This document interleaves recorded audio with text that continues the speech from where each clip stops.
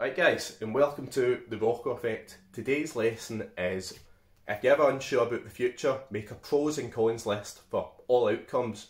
And remember, doing nothing, staying still is still an option, and it's usually the worst option. Like, if you're thinking about your future, and it's, oh, I could do this, or I could stay here and be the exact same state that I'm in now, that, that that's steady you want growth. So if you can make growth, even if it's hard, it's usually better. But make the pros and cons list. So let's say, if I do this, these are all the good points, these are all the bad points. Do the same for staying still, and then see how it goes. If you're ever in trouble about your future, pros and cons list, goodbye.